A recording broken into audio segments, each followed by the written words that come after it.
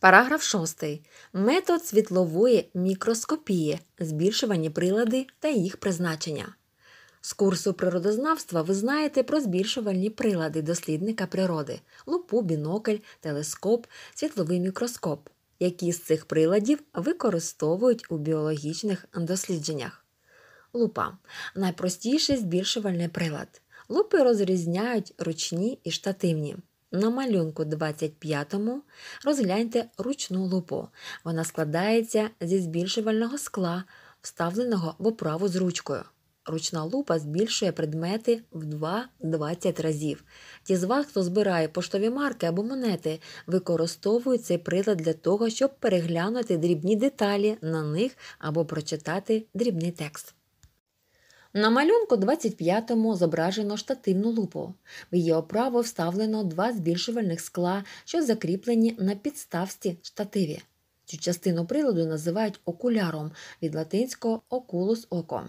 До штативу прикріплено дзеркало та предметний столик з отвором. Об'єкт, який розглядають, кладуть на столик і за допомогою дзеркала встановлюють його найзручніше освітлення. Штативна лупа може збільшувати об'єкти дослідження в 10-25 разів. За допомогою лупи можна роздивитися форму клітин. Для глибшого вивчення їхньої будови користуються мікроскопом від грецьких слів мікрос малий і скопео дивлюся. У школі на уроках біології ви будете користуватися світловим оптичним мікроскопом. Методи досліджень, які здійснюють за допомогою цього приладу, називають світловою мікроскопією. Світловий мікроскоп застосовують під час роботи з дрібними прозорими або напівпрозорими об'єктами. Розгляньте на малюнку 26-му будову світлового мікроскопа. Тубус це спеціальна трубка, у яку вставляють окуляр. Окуляр містить збільшувальні скельця в оправі. Через окуляр дослідник розглядає об'єкт дослідження. Об'єктив від латинського об'єктум предмет містить кілька збільшувальних скелець, які обернені до об'єкта вивчення. Штатив, гвинт великий, гвинт малий, предметний столик. Усі частини приладу з'єднані між собою. Тубус з'єднаний зі штативом.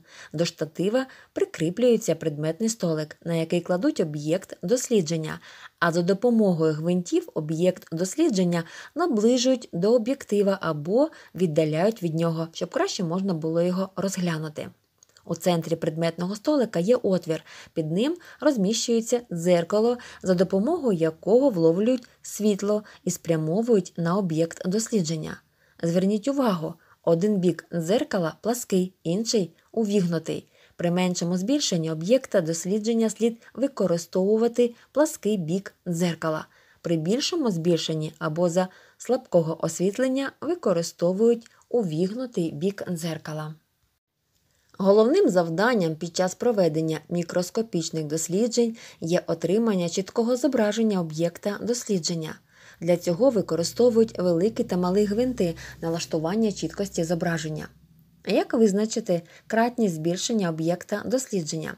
На об'єктиві та окулярі цифрами позначено збільшення, яке воно забезпечують. Наприклад, на корпусі окуляра зазначено цифру 15. Це означає збільшення в 15 разів. На об'єктиві є цифра 20, це збільшення в 20 разів. Якщо перемножити ці цифри, то визначимо загальне збільшення, яке становитиме 300. Сучасні світлові мікроскопи здатні збільшувати об'єкти дослідження аж до 3000 разів. Правила роботи зі світловим мікроскопом. Переносячи мікроскоп, одну руку розмістіть під його корпусом, а іншою тримайте за корпус. Не нахиляйте оптичні прилади, з них можуть випасти і розбитись окуляри. Після роботи поверхню окулярів та об'єктиви потрібно протерти м'якою чистою серветкою. У жодному разі не торкайтесь їх пальцями. Обережно поводьтеся з мікропрепаратами. Після завершення роботи їх потрібно перенести на спеціальні лотки, при цьому беріть їх двома пальцями так, щоб не торкатися горизонтальної поверхні. Переносячи мікроскоп, переконайтеся, що на його предметному столику не залишилося мікропрепарату, інакше він може впасти і розбитись. Не складайте мікропрепарати кубками, це може їх пошкодити. Якщо поверхню мікропрепарату забруднено, її слід протерти м'якою чистою серветкою. Під час досліджень за допомогою оптичних приладів дотримуйтеся чистоти і порядку на робочому місці. Приберіть усі зайві предмети, одяг, сумки, їжу тощо. Під час замальовування об'єктів дослідження зошит або альбом для малювання мають бути праворуч від оптичного приладу. Це дає змогу одночасно спостерігати за об'єктом дослідження та замальовувати його. Об'єкт замальовуйте простим олівцем, розфарбуйте кольоровими. Малюнок має бути досить великим, щоб його деталі було чітко видно. Головна вимога до малюнка правильне відображення форми об'єкта, співвідношення розмірів довжини ширини. На малюнку потрібно позначити складові частини об'єкта. Запам'ятайте, оптичні прилади коштують дорого. Пошкодивши їх, навіть ненавмисно, ви позбавите можливості вивчати чарівний навколишній світ і себе, і своїх колег.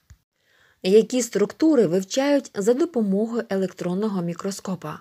У клітині є структури, розміри яких такі дрібні, що їх неможливо вивчати за допомогою світлового мікроскопа. Цю проблему було розв'язано завдяки винаходу електронного мікроскопа. Його розробили на початку 30-х років ХХ століття, а для наукових досліджень почали застосовувати дещо згодом. За допомогою сучасного електронного мікроскопа можна збільшувати зображення до 10 мільйонів разів. Узагальнимо знання. Будову різних біологічних об'єктів досліджують за допомогою ручної та штативної лупи. Внутрішню будову клітин вивчають за допомогою мікроскопа. Під час застосування методу світлової мікроскопії використовують оптичні збільшувальні прилади. У світловому мікроскопі через об'єкт дослідження проходить потік променів світла, потім він потрапляє на лінзи об'єктива та окуляра, завдяки чому зображення збільшується до 3000 разів. Електронний мікроскоп збільшує зображень об'єктивів дослідження до 10 мільйонів разів.